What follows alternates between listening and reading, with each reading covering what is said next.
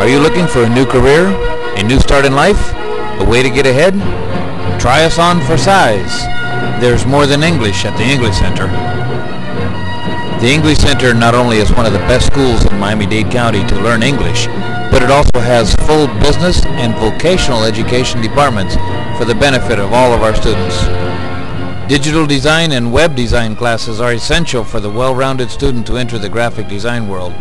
Both programs provide training on the latest software and on both the PC and Macintosh platforms.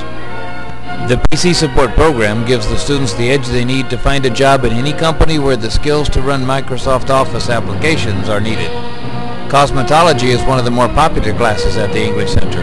The training here prepares the students for employment in salons and gives them the basis to go out on their own, should they so desire.